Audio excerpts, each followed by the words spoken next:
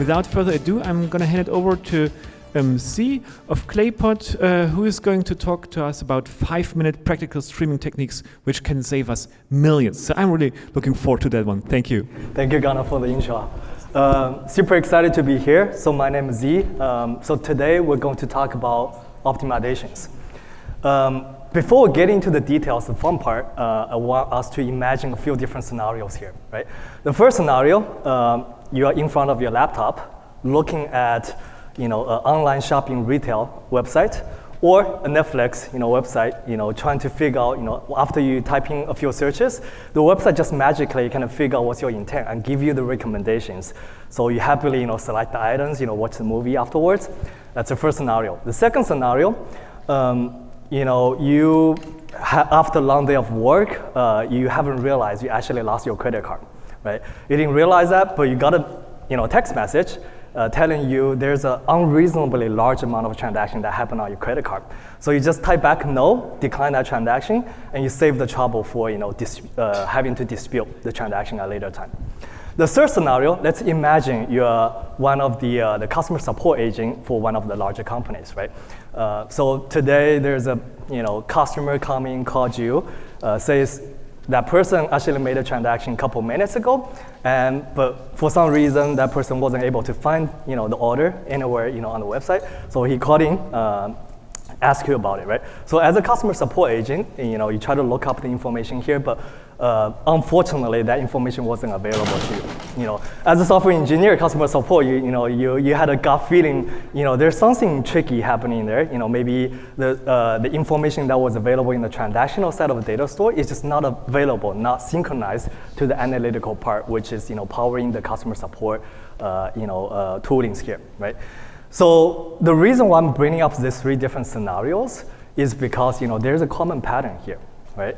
Uh, it doesn't matter if it's driven by you know, a machine learning algorithm to give you a recommendation uh, decision, or it's a mental model, you know, a, a, human that's driving the customer support decision here.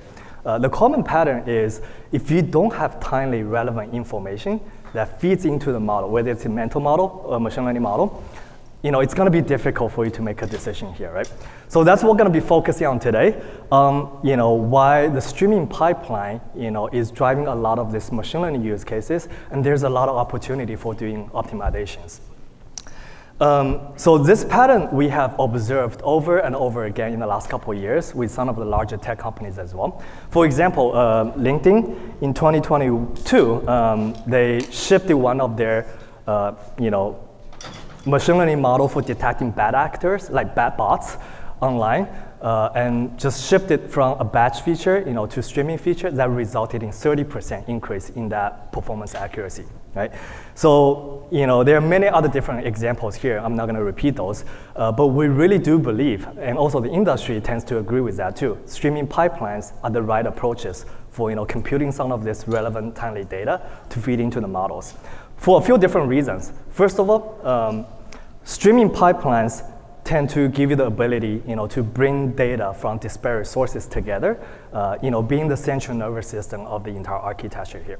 And secondly, you know, stream processing allows you to do um, you know, pre-processing using materialized view, which gives you that faster access to you know, computer results without having to kind of compute on the fly right? And then lastly, within the last few years, uh, streaming SQL is gaining a lot of momentum. So that is also opening up the audience, you know, uh, to allow data scientists, uh, data engineer, even anal uh, analysts to be able to tap into the power of stream processing. So, you know, um, given it's becoming more of a more of kind of practice in larger companies, uh, it's not uncommon for companies to spend millions or sometimes even tens of millions of dollars on streaming infrastructure like this, right? So for today's talk, we're gonna talk a little bit more, more about, you know, especially as a user for some of this streaming infrastructure, if you use Flink SQL, you know, things like that, how can you optimize the cost for your company? Uh, so we're gonna break the talk into three main sections. The first section, we're going to focus on talking about what is the goal for optimization, what's possible, what's not possible, what are some of the metrics you know, we can observe uh, to help us to understand, right?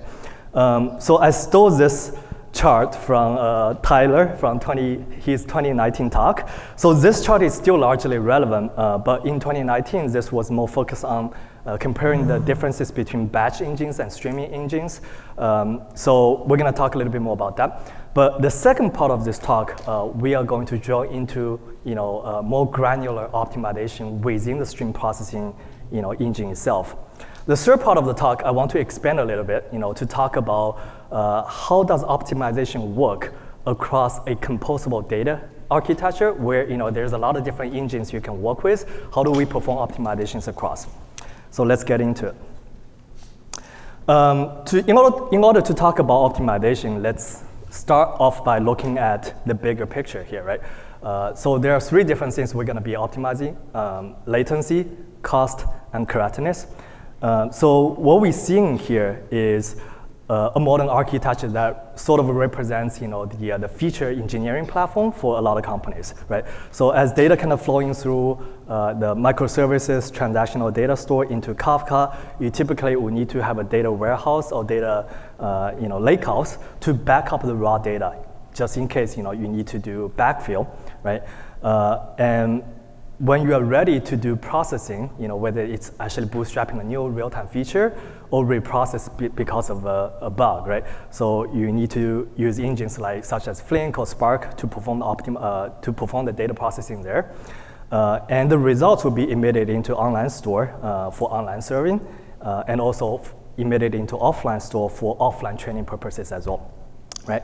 Um, I want to talk a little bit more about the computation latency, right? We define the computation latency here as when the initial event reaches the engine and it starts processing until the point where you know, a result that's impacted by that one particular event is emitted you know, to either the online store or offline store. So you know, uh, for a lot of uh, stateless, you know, simple processing, uh, the latency would just essentially be you know, the transformation or aggregation you do on that event. But for some of the windowing events, uh, you know, it essentially represents the cadence of emission, right? So if you have a session window, uh, you know, the freshness of the results will be equal to, you know, uh, essentially 50% of your session length there, right? Um, the online serving part is not going to be the focus of this talk, but I do want to kind of touch up a little bit on the, uh, uh, the backfill uh, so the backfill, the definition of backfill latency is when you need to go back in time to process the historical data. So the amount of time it takes to catch up uh, to, for a reasonable bound. So here are some of the metrics we can use to measure latencies. For computation latency, there's a latency marker you can enable in Flink that allows you to measure, you know, essentially for uh, within the string, there is going to be a marker being emitted as part of the string, and the marker is going to flow through all the operators, and you know, Flink engine automatically kind of captures uh, the latencies, you know, for uh, the latency, uh, latency as it travels through all the operators.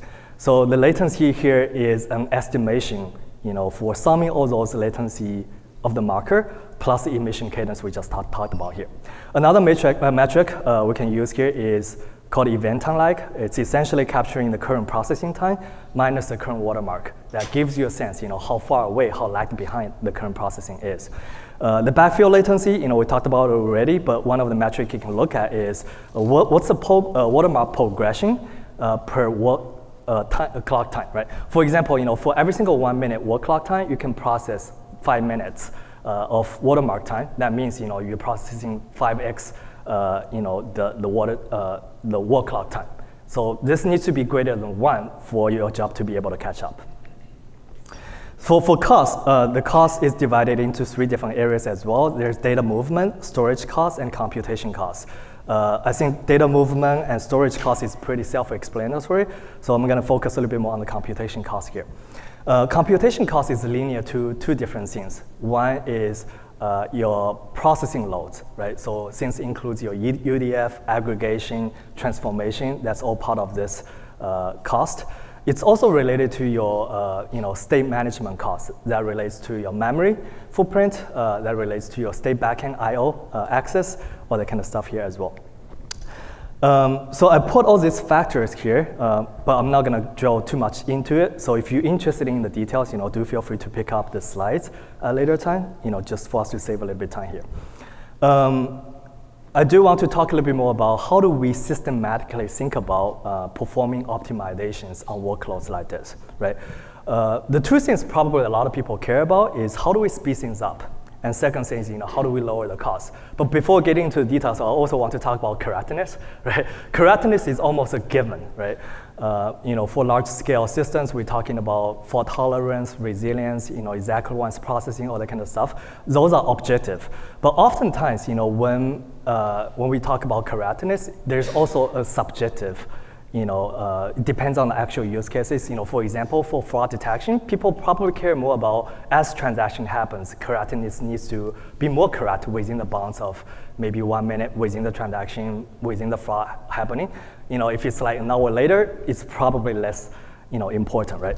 So uh, going back to how do we speed things up? Um, just systematically thinking about it, about this, there are a few different options. Uh, you can use more power scale up the job, use more concurrencies, you can process less. Oftentimes, you know, when talking about processing a job, there's a lot of redundant processing you can save. Um, and also, oftentimes, you're waiting on a lot of uh, things. You know, for example, uh, waiting for IOs. How do you optimize, you know, to wait for less? Uh, and the last one is use better execution plan, right? So, you know, use better algorithms, picking the right join algorithms and things like that. To lower the cost, we're talking about also doing less redundant processing uh, or store redundant things. Uh, and the second idea there is to use uh, more cost-effective hardware or technologies. Okay, so let's jump into the second part, which we're gonna have a hypothetical scenario here, uh, which we are going to talk about uh, a fraud detection situation. Uh, imagine yourself as a data scientist working for a credit card company that we're in the process of building some features to feeding a machine learning model to do the prediction on whether you know a transaction is fraudulent or not, right? So uh, and also imagine you know we are data scientists here, right? So uh, uh, the only tooling available to us is either Python or Flink SQL uh, for us to do this. So we're not going to get into the details of you know using Scala APIs or Java API for the purpose of this demonstration here. So the scenario is modeled after a mid-sized fintech company uh, where we have about 10 million active credit cards, about 30% daily active cards, uh, 1 to 2% hourly active cards you know, during peak. Uh, and also another important piece of information here, let's assume for every, on average, a normal credit card you know, swipes about on average about 10 times a day, right? So if we do our math correctly here, uh, uh, we uh, you know, we are going to see about like 350 transactions per second. But for the sake of this demonstration, we're going to do 1,000 transactions per second just to prove the scale we can do, right? And also, uh, given 1 to 2% hourly active cards during peak, we're also going to see about 200K uh, unique credit cards within an hour boundary, right? These are important numbers, you know, we're gonna, uh, which is going to feed into our, our optimization decisions later. But what we're going to do here is uh, for every single one of those transactions, we're going to feed a event uh, into Kafka. The schema is displayed on the right, right? Um, so let's take a pause here. Imagine we will actually compute a feature that very simple, just taking an average of the transaction over the last two hours for every single credit card, right? The only constraint here I'm gonna add is I want that computation to be, you know, the result to be ready no later than one second uh, when the event reaches Kafka. It's a very simple uh, computation here, right? Um, so take a second. If you have to write a Flink SQL like this, what would you write? So if you're like me, you know, uh, this is something I'm gonna write. All right, so let's dive deeper into it. Uh, so first of all, we're using a window table value function here, um, which is specific to Flink. Um, window table value function, you know, also in short as TVF, uh, is at the center of grouping events uh, into windows so we can apply computation aggregations over infinite streams.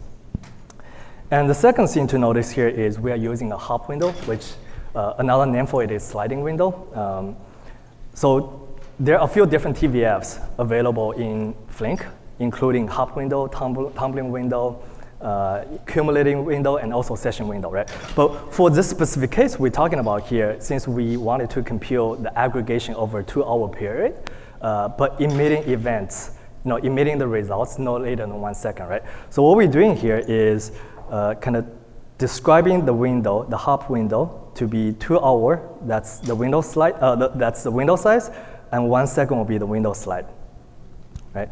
Um, because of the nature of this SQL here, we, all, we can also see, you know, there's a group by clause that group by on the credit card number, right?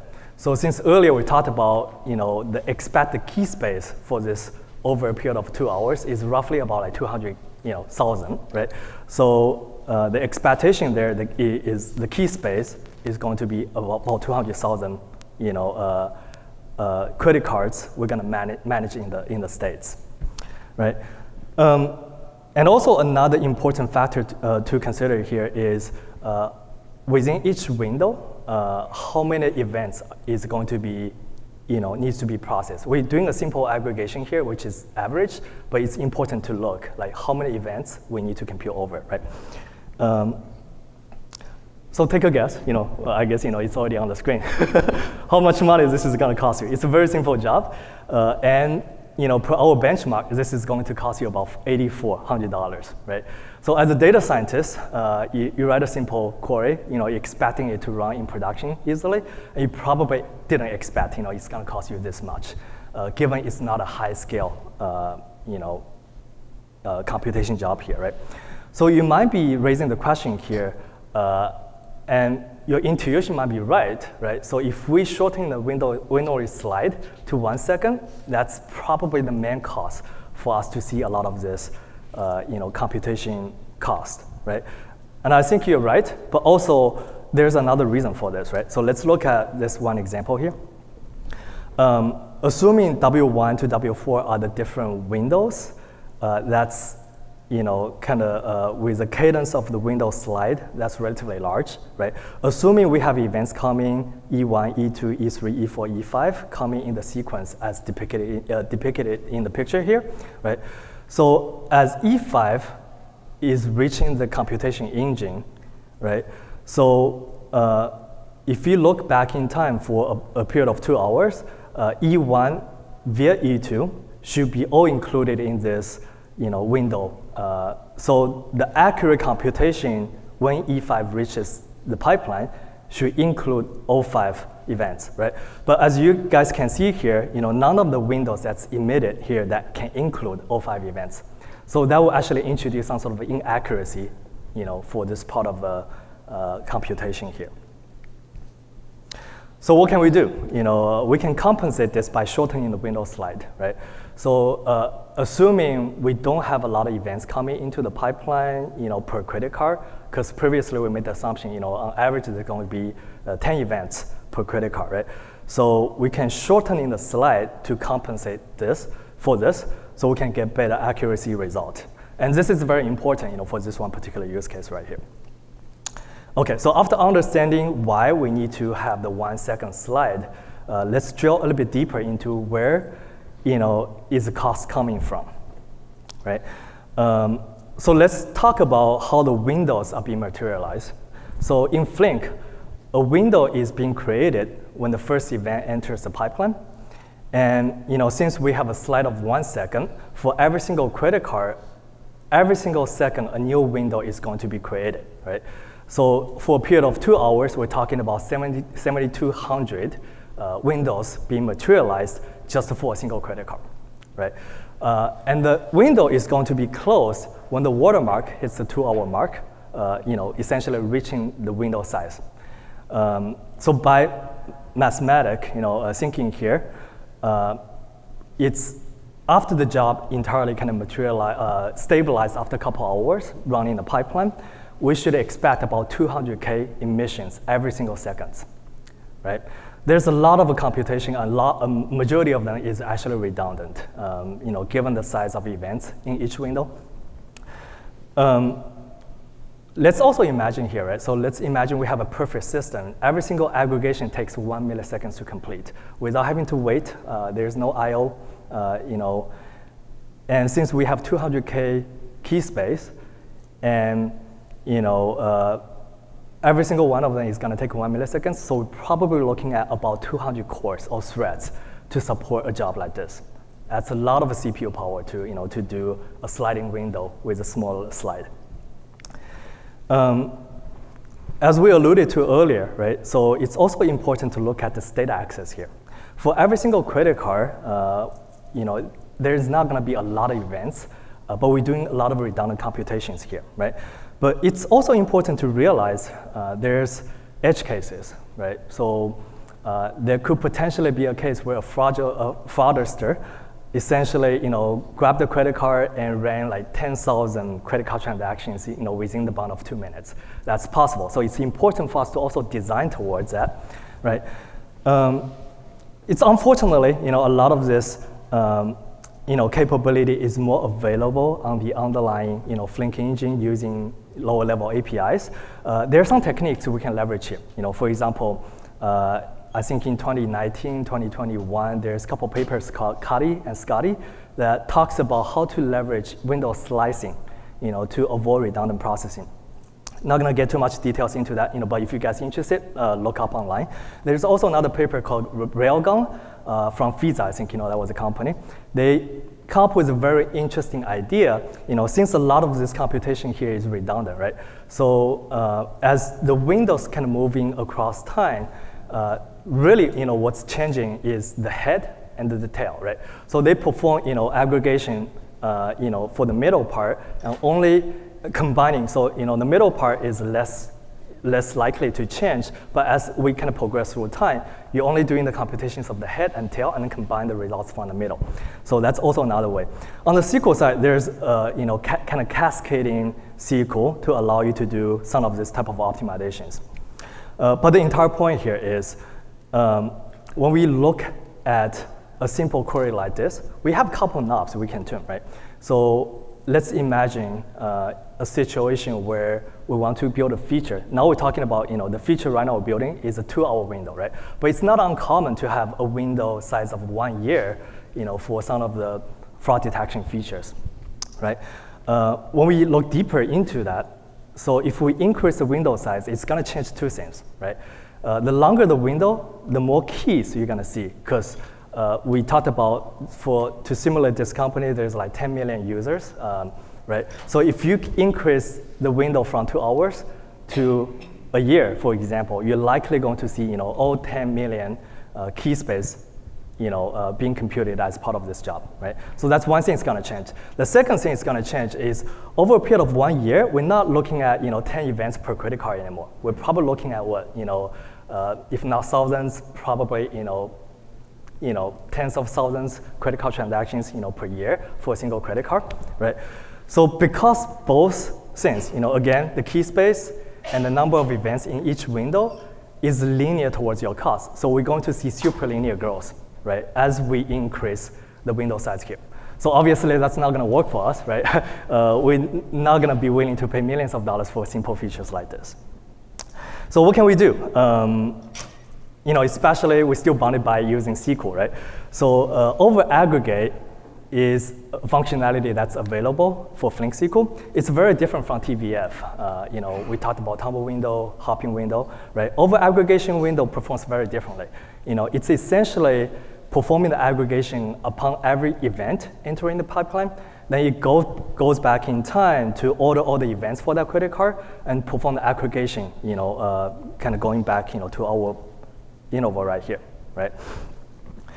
Um, so the results shown on the bottom here is very similar. So, you know, it, it does perform, give you back the same results. But what's the main difference here, right? Uh, in previous example, the sliding window is gonna emit 200,000 window firings every single second. And you know, for this over aggregation window here, since we have 1,000 transaction comes in, and we only need to perform 1,000 uh, computations, aggregations every single second here. So we should expect you know, to see a huge reduction in cost, right? And that's exactly what we see here. So we reduce from 8,400 to about $70 per month. So that's pretty good, right? But there's always a catch. Um, so, you know, by using over-aggregation, it actually introduces additional inaccuracy into the system, right? One example here is uh, assuming, you know, uh, uh, over-aggregation window fires when the event enters the pipeline. So we have W1 fires when event 1 enters the pipeline. you know, similarly, you know, for all the other events. And uh, Windows 5 fires, you know, when uh, E5 kind of gets into the pipeline here, right? I want us to look at uh, this particular point in time right here, right? So as events leaving the window, we, you know, because the nature of over aggregation window, it's not firing the window again. That results in, you know, at this point in time, we still have the old results from when E5 was emitted. You know, window 5 was emitted, right? So we need a way to fix this as well. What can we do? So before getting into you know, uh, how to use a SQL, Flink SQL to solve this problem here, right? Uh, I want to talk a little bit more about you know, some other alternative, right? Obviously, using low-level Flink API, there's many different ways we can solve this. Uh, you can implement custom window, for example. You can implement custom triggers. You can implement you know, event time timer to essentially, the best situation to implement here is we want the window to fire both you know, upon the event enters the pipeline and also upon the, uh, uh, the event uh, expires as part of the window. You know, so that way, you know, we can expect about 2,000 firings per second. You know, it's still relatively going to be a lot cheaper than the, the sliding window and give us the accuracy we want, right? But unfortunately, custom trigger is not available on Flink SQL. Uh, and you know, event time timer is also not available on uh, Flink SQL as well. So we are bound by our limitations here, right? So here's what we can do though. Oh, before getting into the details, I want to kind of show some benchmark number here. Uh, so comparing the sliding window with one second slide versus you know, the over aggregation. Uh, so we're measuring the 95th percentile latency here. Uh, as we can see here, you know, even using about 224 cores, uh, you know, the pipeline is still about like 60 seconds delayed, right? Compared to, you know, over aggregation window, on average, we're seeing about 74 milliseconds, uh, you know, latency. You know, essentially means you get very fresh features out of this pipeline here. Uh, the cost is, you know, more than 100 times difference here, right? But also, the sliding window is trading off uh, cost for accuracy, while the over aggregation is trading off accuracy for cost. Uh, can we do better here, right? So, you know, it's essentially what we're talking about here is between the two different set of extreme, can we find some balances in between, between that uh, spectrum? So here's what we come up with, right? It's actually pretty simple, just kind of combine the two cores, uh, but given a knob of kind of letting the users to choose what is the inaccuracy tolerance that users want, right? So it's a little bit harder to see, you know, for this core here, but, um, but the idea here is, you know, on the, on the top part, we have the over aggregate that, you know, does exactly the same thing, so we know we can get accurate emissions when events enter the pipeline. But we're also using a sliding window of still two hours, but 60 seconds slide to bound the arrow by 60 seconds. So we're gonna see a little bit kind of visual uh, visualization here. Right. The blue windows are over aggregation window, and the yellow windows are sliding window here. So combining both, you know, using a union operator, uh, you know, as events kind of flowing through the pipeline, uh, I want again want us to kind of focus on this area right here, right? As E1 exit the window, since you know, we don't have a mechanism to fire the window at this point in time, but we also don't want the results to be wrong uh, for long time. So what we can, so what we're doing here is kind of combining the power of both over aggregation window and sliding window to bound the inaccuracy to be within 60 seconds. On average, it's going to be like 30 seconds, right? Um, so this is what we can do to solve this particular problem by you know, performing the optimization. You don't have to pay like $8,400. Uh, Instead, you know, you're probably gonna be looking at 50 to $100 you know, for something like this, right? What do we learn from this? I think a couple of things. One is um, as streaming is getting more and more mature, as streaming SQL is uh, getting more popularity, and obviously, um, you know, all the functionality available on the lower API is not fully available on the Flink SQL just yet, right? So we don't have those power yet. But also at the same time, you know, this tells us that, you know, as from the end user's perspective, you know, there's an opportunity for us to kind of capture what is important to the user. So what are the knobs the users want to uh, choose? And, you know, there's an opportunity for this data fabric layer to perform optimization on users' behalf to make things a lot easier for them, right? I want to kind of dive a little bit deeper into that. Um, so that kind of uh, lets us to move into the third section here. Uh, I want to talk about, about more advanced optimization techniques here, right? Um, I think a couple questions I want to address. Uh, you know, maybe before getting into those questions, this is a modern architecture kind of representing application that has you know, the transactional side of a backend, uh, which is the top side of this diagram here. We're talking about microservices is, uh, is backed by you know, transactional data stores. On the bottom half of this diagram here, we have you know, the analytical part of you know, data ecosystem, right? So we're talking about data warehouses, data lakehouses, you know, having analytical stores to power real-time, you know, analytical use cases. Uh, then there's this middle part where you know the streaming pipelines and you know the streaming infrastructure like Kafka and uh, Flink kind of serves as a central nervous system to connect both sides, right? The entire point here is uh, uh, given there's a lot of different technologies that's available in this entire ecosystem, and many of them is empowering the analytical reports, operation use cases, and more recently, you know, the AI and machine learning use cases as well, right? Um, given the complex ecosystem here, I want to answer two questions. One is what does it take you know, for us to have a you know, more unified, more easier way to access all these data stores in a more cohesive fashion? And secondly is, um, I want to explore what are the opportunities when we work with a composable data infrastructure like this? Uh, what are the opportunity to to perform optimizations across the distributed systems like this, right? In order to answer those two questions, I think we need to uh, look at two of the foundational um, development in the last couple of years that can potentially make this possible. Uh, one, the first thing is uh, the table to stream duality that we talked about for many years already that allowed us to look into, you know, for a relational expression, right? So for those of you, you know, who are not familiar with relational expression, it's not a new technology, right? So uh, for every single old database out there, you know, it uses relational expression to, you know, relational algebra to kind of compute, uh, to declare the logic and being able to kind of do optimizations across this relational algebra and then apply to the different tables. Uh, but oftentimes, you know, in the past, this is only being applied to individual databases, right? But with the more recent development of table to stream duality, that, you know, taught us on how to evolve the relational expression to also include some streaming semantics like watermark, like windowing semantics, all that kind of stuff, right? Uh, so what this allows us to do is once we have the relational expression for streaming, you know, you can represent that for streaming, you can represent that for batch system, you can also represent that, you know, for transactional systems.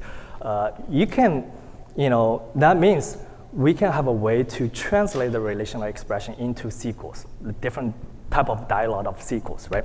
At the same time, you know, for a lot of the data scientists out there, they are very familiar with Python, they are very, you know, uh, familiar with existing Python toolings like pandas and things like that. So that also kind of give us an opportunity uh, to translate Python to relational expression and back and forth, right? So this is one of the, uh, the foundations that potentially make distributed optimizations possible, you know, especially for streaming part. The second thing, which is very, also very important, uh, is more recent development about data contract. Uh, data governance allows um, schema changes to be managed across different systems, right? So, you know, as we know, Kafka has a schema registry to allow you to manage schemas for your topic. Um, another example would be, you know, Apache Iceberg has very good implementation on schema evolution, right? So given those APIs allows us to be able to move data across different systems without, you know, when schema changes, it's not gonna break your system. So those are the two foundations, you know, for us to talk about what we can do here, right? On the high level, it looks like this. You know, once we have a workload declaration, we can translate that into IRs, right? The IR can be fed through, you know, unified processing here. And then underneath hood, there's going to be a lot of different systems here, right? So we're talking about microservices, transactional data stores, the transports, uh, streaming transports, and data warehouses. Uh, I want to maybe use about three different examples to kind of dive deeper into um, obviously, we're not going to be able to kind of dive too much into details given the time, but I want to kind of give everyone some ideas uh, on what we can do here, right? So first of all, um, I want to explore this idea about distributed predicate push down or push up. Uh, let me use an example here. Um, I know the arrow is there, but I want to start the example right here using you know, maybe Apache Iceberg as an example. So uh, Apache Iceberg uh, implements a two-layered metadata, you know, kind of management layer, right? So what this means is Apache Iceberg will uh, be able to allow you to perform very, uh, you know, efficient uh, partitioning, filtering, you know, based on you know, you query for specific, you know, metadata information, you know, kind of gives you back the file, and then you can uh, pull those data, and then, you know, perform processing, right? Um, one specific use case is going to enable you to do is, as data scientists, you know, since I have the ability to pull, data from Iceberg, for example, you know, I wanted to experiment a new feature, but I don't need the full set of data. I only wanted to experiment a feature over like 1% of the users. I can use those metadata layer, you know, to retrieve only, you know, 1% of the data, and that will potentially fit into the memory for my local Python notebook. Now I can perform that optimization, uh, I mean, computations over a pandas data frame right? So that's one thing uh, that they can do without actually having to deploy the job into production and wait for the results. That speeds a lot of things up for data scientists. I want to push the idea a little bit further, right? So since we can do predicate push down to iceberg, you know, what if we have a situation where you know, there's petabytes worth of data, logs, being generated in your microservices environment. You know, majority of those logs is not going to be useful to you, right? So you're not going to spend the money to store them in your data warehouse. But what if you need to do live ad hoc debugging?